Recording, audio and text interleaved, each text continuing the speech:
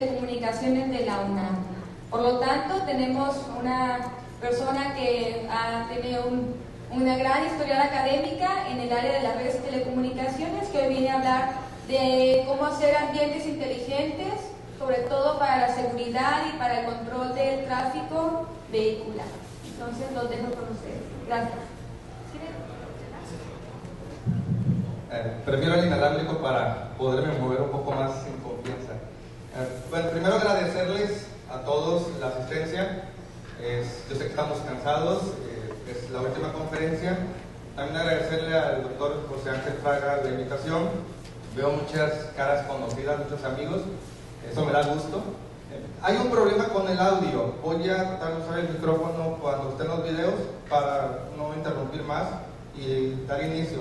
Eh, bueno, lo que les voy a platicar en esta hora eh, son dos temas que en lo personal me gustan mucho y son temas que estamos desarrollando en estas empresas de innovación y desarrollo tecnológico. Y bueno, la idea es que ustedes, que están a punto de egresar, eh, se conviertan en empresarios.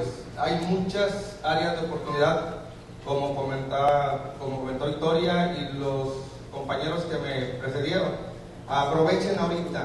Esta es lo que tienen ustedes, esta, este, esta calidad, esto que le llaman capital intelectual, es único y pueden sacar mucha tela de donde cortar. Lo que he tratado de organizar en la primera parte es hablar sobre redes vehiculares y eh, lo hemos o lo he definido en cuatro aspectos, una historia, una pequeña historia, el concepto de las redes ad hoc inalámbricas, las características de las redes vehiculares, los retos y unos videos que traigo que eh, son de empresas que están trabajando en este momento a nivel internacional sobre redes vehiculares. En la otra parte de la plática voy a hablar un poco sobre la parte domótica, que ya habló mi compañera que me precedió, la definición, la historia, proyectos también, y en particular los proyectos que estamos desarrollando, queremos desarrollar en los próximos años y las conclusiones. Eh, también si tienen alguna pregunta, siéntanse libre, si no, apunten y al final podemos platicar y si no, pues aquí hay varios amigos míos expertos que me pueden apoyar también con la respuesta. Bien, así a simple vista, eh, no sé si se acuerdan, de los tatarabuelos de las redes vehiculares, estas redes eh, que voy a platicar ahorita. Pues en 1973, el Departamento de la Defensa de los Estados Unidos impulsó este proyecto de eh, aplicaciones militares. No querían que hubiera infraestructura. ¿Para qué? Para que los soldados pudieran comunicarse sin estar cargando una torre. Imagínense una torre sota entre todos, sería incómodo. Entonces, en 1973 surgió la red de Packet Radio Network, PRNet, y con conmutación de paquetes. Ahí empezaron a trabajar con conmutación de paquetes. diez años después aparecen las redes de sobrevivencia, las redes SURAN. Y aquí el concepto, bueno, ya teníamos conmutación de paquetes, ya eran redes independientes, pero ahora tenemos otro problema. ¿Cómo poder controlar el número infinito de, nodos, de soldados. Entonces hay que tener el problema, cómo poder resolver el problema de la escalabilidad y la seguridad. Entonces ya fueron abordando problemas de escalabilidad, de seguridad. En 1987 aparecen las redes Low Cost Spectrum Radio, LPR. Ahora aquí, ¿qué sale? Sale lo que se llama DSSS, Direct Second Spectrum ya empezaron a trabajar con espectro extendido y que esto lo usa, por ejemplo, la tecnología 802.11b, ese Direct Second Spectrum. Bueno, la tecnología siguió, sigue. En 1990 aparecen los protocolos MANET, Mobile Ad Hoc Network. Ya son dispositivos móviles, computadoras, dispositivos PDA, celulares, y pues la gente los trae y los quieren conectar a través de esto. Y bueno, ese es el, papá de los protocolos BANET que vamos a hablar, que son Vehicular Ad Hoc Network que aparecen, fíjense, en el 2002. Tienen poco tiempo realmente en investigación, 10 10 años, realmente poco.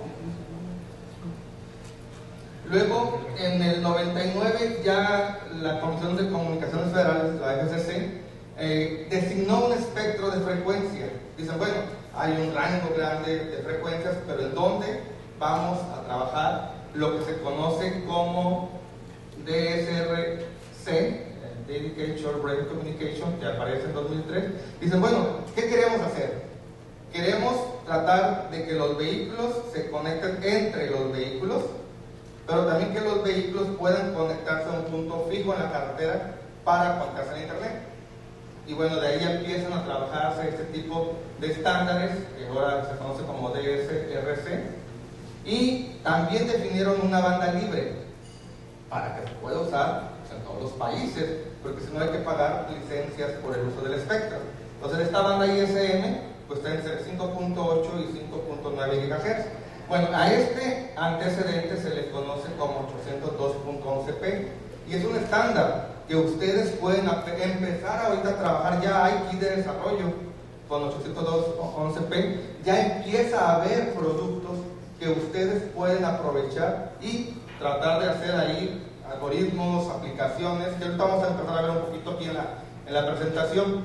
Entonces 802.11p usa la banda ISM entre 5.8 y 5.9 eh, usualmente usa 10 MHz de ancho de banda. En el estándar se define 5, 10 y 20 MHz.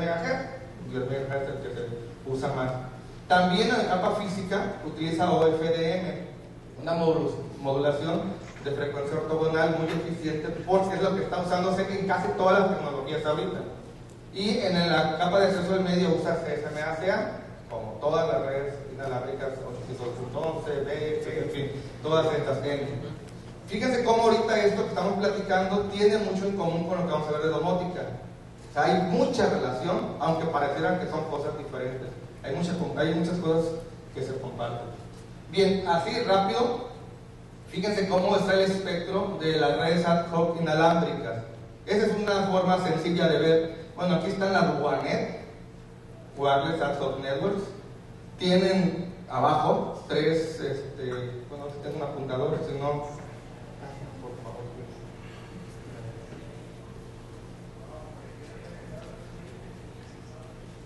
Fíjense, aquí tenemos eh, las redes de Maya. Eh, le platico un poco de la parte CP que se hace en Maya, todos contra todos. Es interesante porque aplicaciones que no se usan mucha movilidad, tan fijas, pueden aprovechar esas diferentes rutas. También tenemos las redes MANET, las Mobile Soft Network, que vamos a platicar un poquito porque son los predecesores de las MANET. Y las redes sensores, que va para allá. Todo esto la integración Fíjense, Vehicular, of Network, VANES, el tema de hoy, pero viene un concepto interesante, InVANES, que ya viene Intelligent Vehicle of Network, que combinan tecnología de sensores, Bluetooth, eh, todo lo que quieran ahí dentro de los vehículos. ¿Para qué? Se puede monitorear a, los conductores, por ejemplo. ¿Cómo es el estado de los conductores? Entonces, muchas cosas ya están aplicadas también en la parte vehicular, también como en la parte domótica. quise poner la definición poquito larga, pero es importante porque aquí en las redes eh, BANET, esa tecnología se crean redes móviles. La tendencia ahorita es 100 a 300 metros, aunque el estándar dice que hasta un kilómetro. Hay que ver, hay que hacer mucho trabajo. Creo que aquí, bueno, aquí está Alex, Alex está haciendo terminando su doctorado en redes intravehiculares y creo que muchos retos son en la capa física y aquí vienen muchas cosas de, hay que hacer modelos de propagación, hay que hacer, ¿cuál, es el escenario? ¿Es una ciudad? ¿Es en una autopista? ¿Es en Europa? ¿Es en? Entonces está interesante todo este concepto, bueno, pero al menos hay que asegurar 300 metros. Cada nodo, cada nodo es un enrutador. Cada es como cuando ustedes se conectan a internet, el gateway principal es un router. Cada nodito, cada vehículo es un router, también es un nodo. ¿Sí? ¿Y cuál creen que va a ser las primeras aplicaciones? Las aplicaciones de emergencia, de seguridad. ¿Cómo puedo evitar un accidente? Ahorita vamos a ver algunos videos y vamos a ver algunas de las tendencias. Después va a haber otras aplicaciones que se van a ir desarrollando. De uno, del presente a cinco años van a ver este cambio, este paradigma. Bien, algunas características así rápido, ¿cuáles son? Alta movilidad, Y esto implica que en los algoritmos es un cambio topológico. Imagínense un vehículo que viene y otro que va a 100 kilómetros por hora, 200 kilómetros de velocidad relativa. Traten de comunicar a esa velocidad, pues son retos interesantes. lo bueno es que la mayoría de los vehículos ya tienen GPS. Ya podemos hacer predicción de movilidad. Se puede hacer, y vamos a ver videos, cómo lo hacen. Ahorita vamos a ver unos videos. Eh, también podemos hacer, bueno, ¿cuál es uno de los, aquí el problema? La capa MAC es una capa que es probabilística. Y entonces, pues hay que luchar contra aplicaciones críticas. Imagínense, hay un accidente y no me avisa que voy a chocar, pues, es riesgoso. Y bueno, algo importante que no tienen, por ejemplo, aquí no hay problema de la energía en las redes de sensores, hay que cuidar la energía, hay que hacer algoritmos, hay que desarrollar algoritmos que consuman poca energía, como comentar, que se duerman sensores. En vehículos no tenemos ese limitante, tenemos otras, pero esa no. Así rápidamente, esta es la estructura del 802.11b, que se conoce como WAVE, Wireless Access in Vehicular Environments. Esto es el estándar, esto es el estándar. Fíjense que todo el mundo en el modelo de referencia OSI usa las dos capas física y MAC. Aquí están física y MAC. Pero en la capa de enrutamiento usa otro estándar, el 1609.4.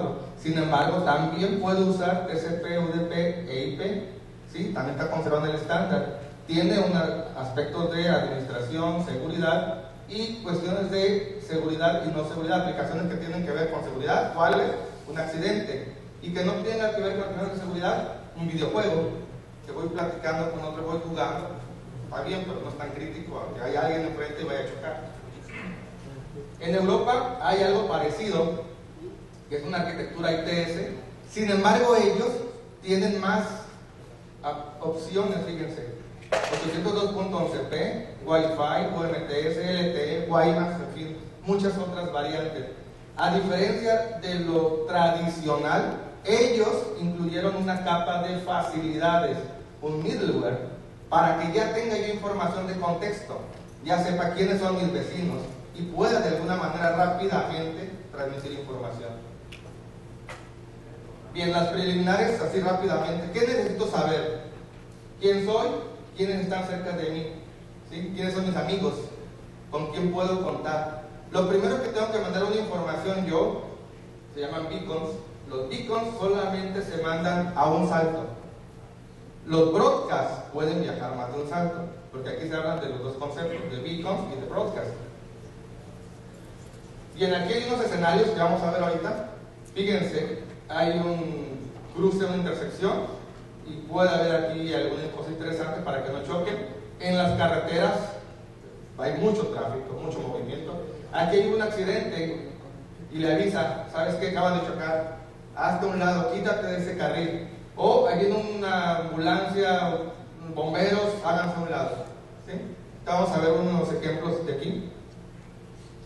Eh, bueno, seguimos con los preliminares. ¿Cuáles son las aplicaciones básicas? Hago aquí una emergencia, y me comunico a un punto en la carretera donde puedo llamar a la aseguradora. Y aquí fíjense, van todos, eh, se llama Platón esto, que van uno tras otro, tras otro, tras otro. Aquí hubo un accidente y se comunican a, la parte de la salida. En fin, se fijan, cada vez se puede hacer más complejo. Las aplicaciones se notan. ¿Cómo resuelvo eso? Lo que viene aquí, los algoritmos de rozamiento. Esto. En forma simple, sencilla, esto se aplica en redes, sensores, en robots, en redes inalámbricas, lo que quieran. Aquí está el que envía, aquí está el que recibe, yo tengo que enviar la información de un lado a, otro a través de múltiples saltos.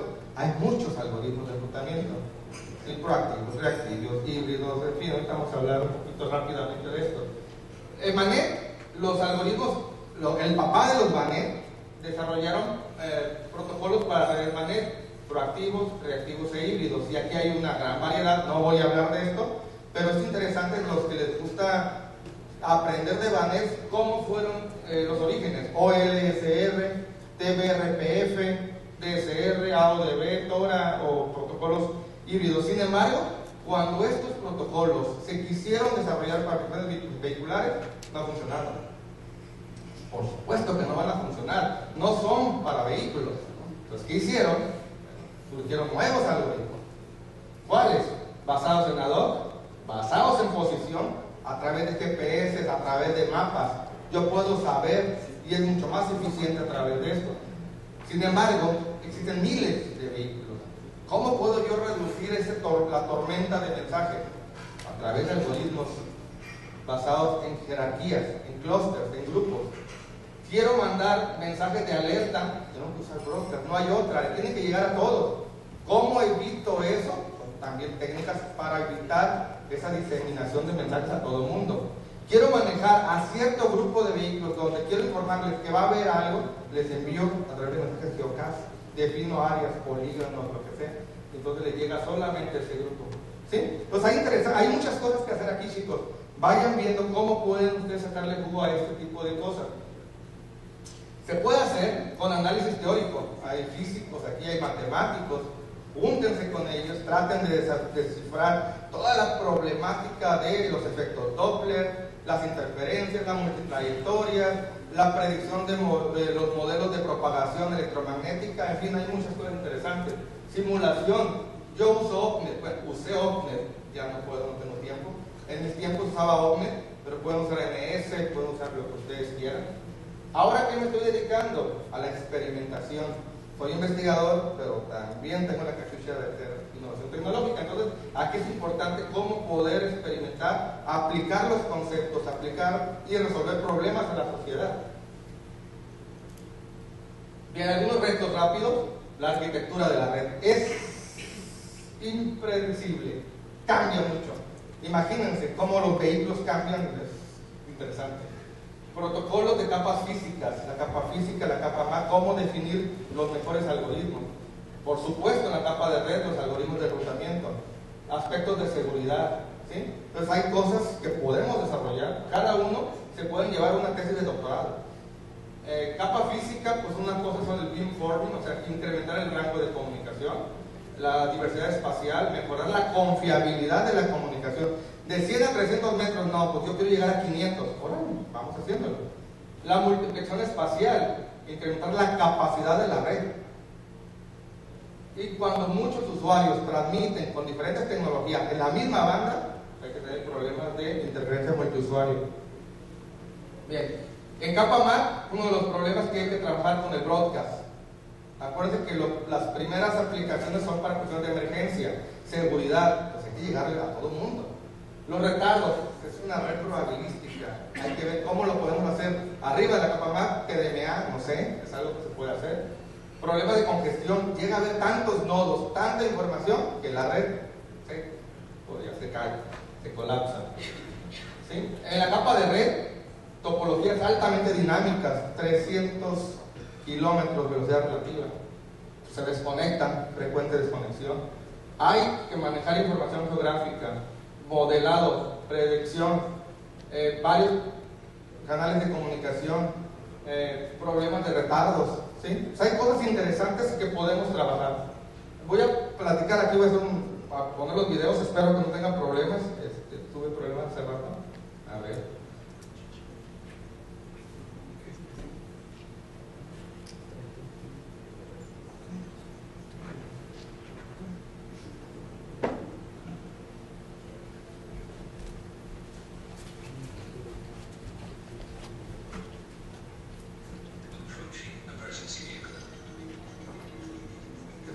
Texas.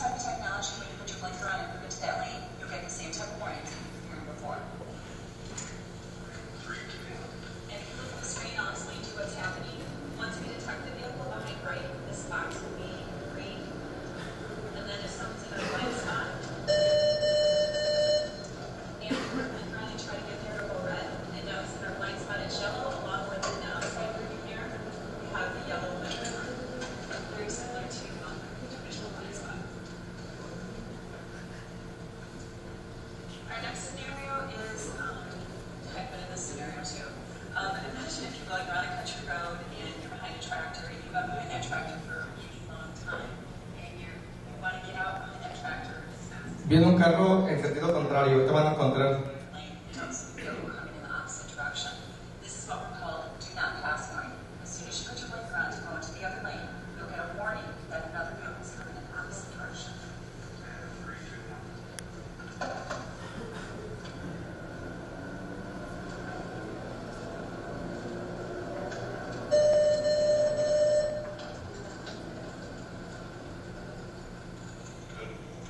Y el último escenario es la intersección, que les comento cuando hay problemas de las esquinas.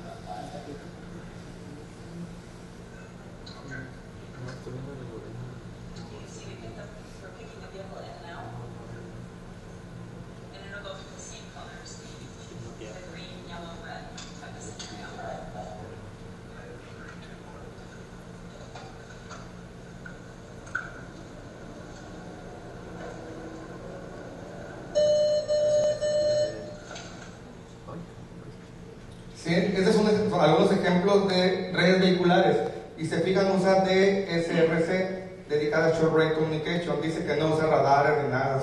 Entonces, son ejemplos de comunicación vehicular. Eh, bien, seguimos rápidamente. Ah, proyectos. Eh, aquí hay algunas referencias, hemos participado en algunos libros sobre redes vehiculares, eh, ojalá y esto lo tengan en la biblioteca pronto, me daría mucho gusto. El primero pues, tiene que ver con Wireless Technologies en Vehicular Network Present and Future Challenge de su servidor y el otro tiene que ver con Intervehicular Communication Using Wireless Asphalt Network también de su servidor.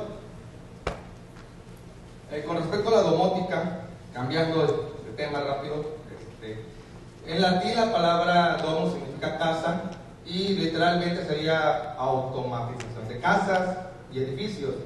Aquí hay una gran diversidad, compañera lo platicó ahorita, controlar temperatura, luces, bombas, confort todo esto. Entonces, pues ya lo que voy a hacer es eh, rápidamente, ¿quién o qué empezó esto, el X10? Eh, creo que platicaron, hicieron una pregunta por qué era importante los protocolos. ¿Qué creen que le pasó a X10? No era un protocolo. Era un estándar de una empresa y ese fue el problema. Ahora ya existe un estándar. Entonces, eh, en el caso de X10, eh, ¿cómo se maneja la información? Un pulso, aquí lo podemos ver en la onda positiva, significa un 1, y un pulso en la onda negativa significa un 0. Y se puede manejar, bueno, ese es X10, ya ahorita ya cambió, pero bueno, hay los marcos, la información de banda dobles, se repite, hay un código de inicio, un código de letra o carta y un código de número. Aquí hay, en el código de número, hay todo lo que se puede hacer. Ya hay algunas cosas definidas y otras cosas que se pueden implementar.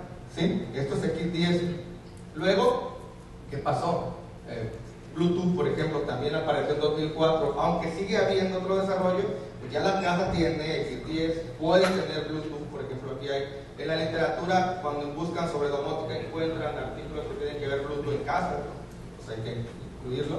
También viene CP, ya nos platicaron muy bien ahorita de qué se trata, todo esto, pues aquí viene el, estándar CP, y bueno, eh, eso es lo que viene evolucionando 2004, 2004 ya teníamos muchas tecnologías inalámbricas, Bluetooth, Zigbee, eh, bueno, X10 es cableada por la línea eléctrica, pero bueno, había posibilidad también de otros conceptos y otras aplicaciones. Sigue X10 ahí dando pataditas todavía en 2005. Podían controlar varias aplicaciones con dispositivos a través de bueno, luces, eh, temperatura, cortinas, aparatos. Sigue evolucionando y aparece Upload. Esto es un estándar, el P1905 de la IEEE, y que define muchas aplicaciones en la casa. No sé si alcanzan a ver, tiene broadband internet, uh, high division, video de alta definición, música digital y aplicaciones para control de la energía, como la parte de controlar los dimers, las luces, eh, en fin, todo tipo de cositas ya lo trae, fíjense. Sin embargo, tiene otro competidor todavía. No se ha dejado lo inalámbrico. Bueno, algo más rápido. ¿Cómo trabaja Sunfloop? En la capa física usa el dual FDM, como 802.11p, con transformada rápida de Fourier. En Japón usan wavelets. No sé por qué lo usan ellos, pero Japón usa wavelets. Tiene capacidad de 10 megabits por segundo y en la capa de acceso medio usa CSMA, muy parecido a P, 802.11p. Si aprenden uno, aprenden dos. Aprovechen. Dos por uno. Y también sigue lo de Wi-Fi. Wi-Fi y HomePlug están tratando de ver quién es mejor. Nosotros, en la compañía, estamos desarrollando las dos tecnologías. Porque no es lo mismo extranjero que México. o Lima es zona sísmica. Entonces hay que cuidar que las casas pasen cárcel. Este, rápidamente, proyectos sobre cómo ando de tiempo, no sé. Bueno, si no me dicen rápidamente lo, lo corto. Excelente. Esto, a ver si los que ponen los proyectos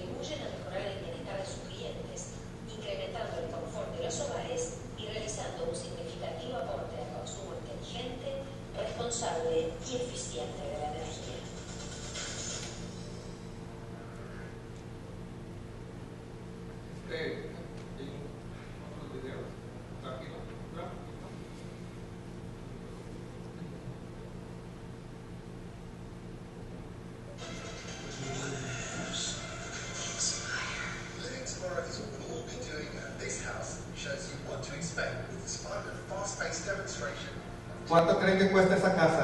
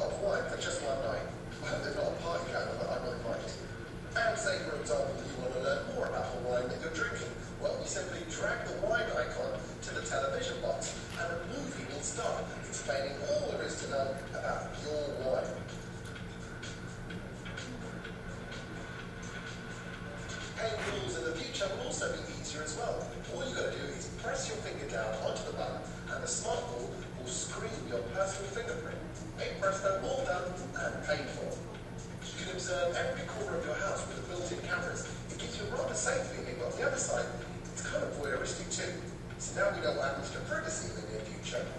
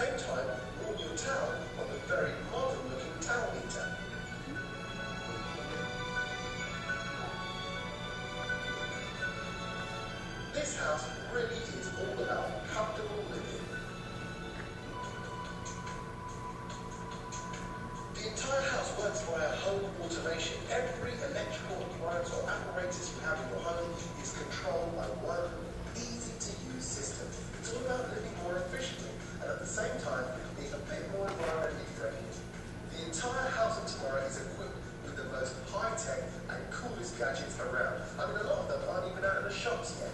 In this house, you can control everything by touchscreen. You literally have everything at your fingertips. Now that's what I call easy living.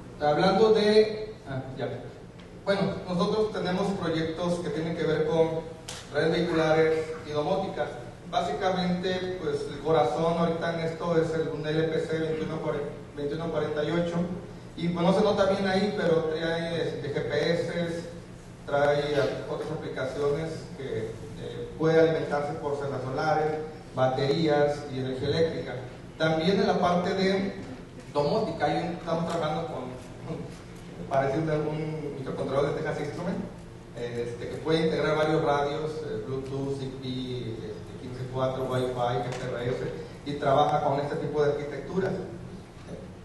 Ah, también hemos publicado en la parte de domótica algunos libros. Por ejemplo, el primero es Embedded System and Wireless Technology, es CRC Press, que viene- tiene que ver con domótica.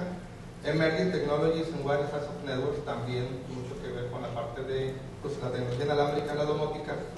También en la parte de robótica, un nuevo libro que sacamos que tiene que ver ahí con pues, la parte mecatrónica, las tercianas, motores y todo esto. Pues hemos estado tratando de, de aportar un granito de arena en la parte inalámbrica, en la parte de domótica. Eh, no sé si tenga tiempo para presentarles algunos proyectos de la empresa. ¿Cómo está el tiempo? ¿Cinco minutos? Un video. A ver cuál. Un video. ¿Cuál prefieren, el de domótica o el de vehículos? ¿Cuál? Domótica, ok, dijeron domótica. Les voy a presentar un video de la empresa. Aquí lo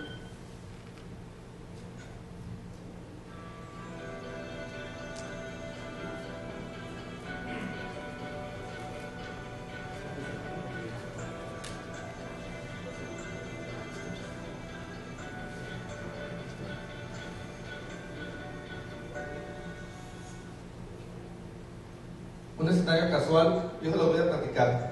Están platicando y ahorita van a tocar la puerta, como los videos que vimos de... Y bueno, a través de... Hemos programado algunas aplicaciones con iPhone, este, también con Android, y con iOS, con tablets, con ese tipo de cosas.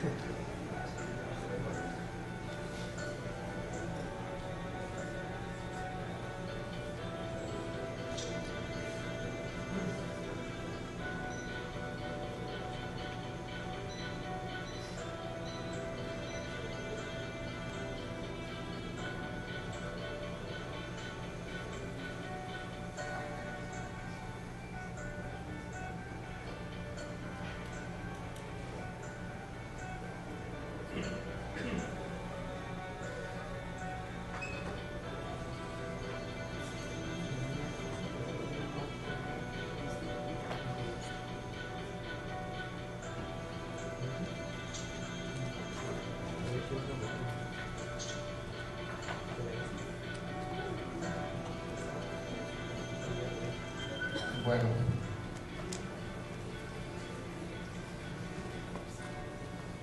Hay proyectos que tenemos que tienen que ver con salud, este, con climatización solar, por ejemplo, como del sol hacer enfriamiento. Eso lo tenemos con otros países, pero no, era el, tópico de, esta presentación, así que no, no lo preparé, pero pues hay, hay otras cosas que estamos trabajando.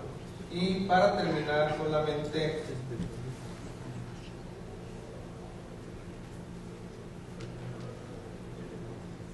Como conclusiones, creo que estoy de acuerdo con pues, todos mis compañeros que me antecedieron, que fueron hablar antes que yo. Aquí es importante, sobre todo en las áreas en las que yo he tenido un poco de experiencia, trabajar con electrónica, con computación y con telecomunicaciones. Es difícil ya que uno trabaje de forma aislada. Hay que hacer equipos, equipos de alto rendimiento. Eh, también algo que no tenemos, sobre todo en nuestro país, es que los investigadores están en un área y la innovación tecnológica está en otra área. Tiene mucho que ver con la forma en cómo se evalúan a los investigadores en el SNI. No investigadores SNI y por lo regular es artículos en redes indexadas. Pero también es importante hacer innovación tecnológica. Entonces yo creo, no vino el doctor Arturo Serrano, no, no lo veo. Bueno, me dijo que iba a venir. Ahí estaba platicando con él y yo le comentaba de la triple hélice los académicos, los empresarios y el gobierno. Y me decía que también la sociedad es muy importante que participe, porque a veces los proyectos se hacen sin considerar a la sociedad. Proyectos como la alfabetización digital o agenda digital, hay que saber qué quiere esa gente que sabe leer para usar la tecnología. Entonces, por eso incluí también a la sociedad, que son cuatro aspas ahora de estos hélices, estos ventiladores. Y algo que pues, hemos comentado mucho y espero que realmente sí les motive, háganse empresarios. No se requiere dinero para formar una empresa. Cuando yo empecé no teníamos un solo cinco. ¿Saben cuánto dinero va a apostar el gobierno en este año en innovación tecnológica para bajar fondos de innovación tecnológica? Solamente en las bolsas de innovación, de Innovatime, Proinova Innovatec, 5 mil millones de pesos. Y ustedes pueden concursar porque se reparten en los 32 estados. Colima, que chiquito, donde yo vengo, solamente dan entre 25 y 30 millones, pero nada más hay 30 empresas que hacen innovación, o sea, es una ventaja. Aquí pues, son muchos, pero hay más recursos. Solamente en esa bolsa hay 5 mil millones, pero están los fondos sí, de innovación tecnológica como la Secretaría de Economía, los fondos bilaterales, o sea, con así con Francia, con España, donde pueden bajar muchos recursos. Lo único que van a tener que invertir es para hacer un acta constitutiva. Pueden trabajar en su casa, de donde quieran, y a partir de ahí pueden hacerse de recursos, y son recursos a fondo perdido. No hay que regresar absolutamente nada si cumplen con el proyecto. Pues hay que hacerse empresarios. este, no sé, estoy abierto a preguntas. Muchas gracias por su atención.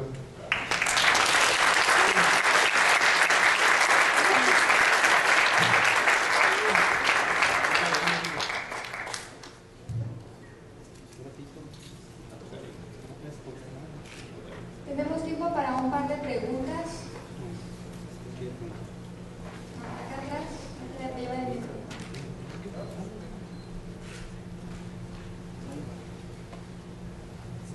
Buenas tardes. Esta- Mi pregunta es, es, es muy interesante todo esto de la domótica, es, es, suele ser impresionante ver que una casa automatizada, pero ¿qué tan factible es para una familia mexicana el implementar estas tecnologías en sus hogares? Eh, esa es una pregunta. De hecho, todos los proyectos de innovación no son apoyados si no hay un plan de negocio. Sea, nosotros nos evalúan esos planes de negocio y esos estudios de mercado. Un proyecto, un producto va a depender de lo que se quiera automatizar, por supuesto. Pero va de entre, nuestros productos estaban entre 3 y 5 mil pesos por cuarto.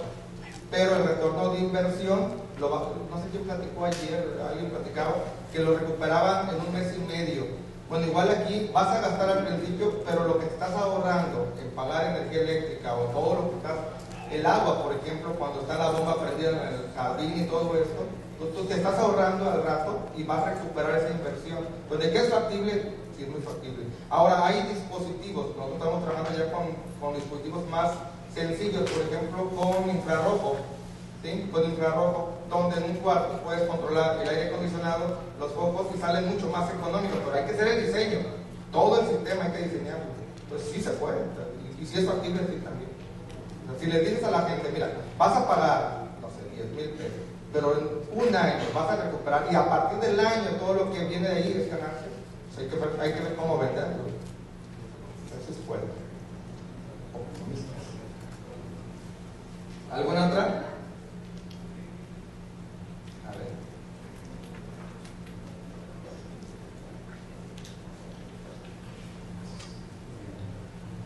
Buenas tardes. Eh, Muy interesante. El, el asunto del, del- del- de la comunicación vehicular. eh, pues yo no- lo, lo primero que se me viene a la mente es pues, cómo hackear. O sea, cómo hacer que al último todas las, la fila esté libre para mí. Todos los carros hagan muy bien. Eh, y, y yo creo que es un punto central ¿no? de, de, digamos, el ser humano, pues, este, que no está cerrada, pero ya cuando te está avisando y, y- y los carros se comunican y cada, cada punto es un nodo, pues yo puedo hacer que, que mi carro hackeo el código de dirección y al último le meto ahí algo y que se comunique con otros. Y, y me imagino que no, no sé qué tan avanzado está ahí. o sea, lo he visto en carros que, y que, que trae la llave ya en los carros, que, que la llave abre el carro, lo prendes, hay unos las alarmas, pero me refiero a los carros más sofisticados que también hay funciones y ya no han hackeado. Y ya, cuando salió el primer carro, a la media hora ya, ya estaba todo afuera y pues, después programar aquí para que carros Y entonces ahí me, me, me, la duda que- de cómo, se cómo se va a contemplar eso. Sí. Sí, no, por supuesto. Este, al principio todo se actuó de buena fe. Cuando empezaron los algoritmos, los manejos, ni siquiera los algoritmos manejos, asumían que todos los nodos que estaban ahí, que eran de confianza, al principio todo. Luego empezaron a salir algoritmos que manejaban seguridad, cuestiones de seguridad porque siempre cuando hay un ente fijo que valida a los otros es sencillo, pero acá todo el mundo se está moviendo. Entonces sí, sí, sí hay investigación para allá, eh, pero es parte de la confianza y poco a poco se le va quitando la confianza, como a las novias. Primero confías en ella, luego te llegar tarde muchas veces y a ver, a ver, entonces eh, empieza a quitarle el. Igual acá, al principio confías todos cuando todos los algoritmos, lo que se quiere es tener un resultado.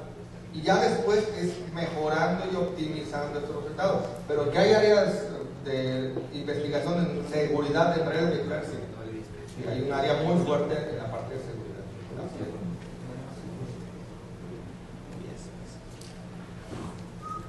Vamos a dejarle aquí para darnos tiempo de ir a comer y regresar en tiempo para las ponencias eh, de la tarde. Y bueno, cualquier pregunta que quede en el aire, aplica, gracias por, atenderlos. Ah, les una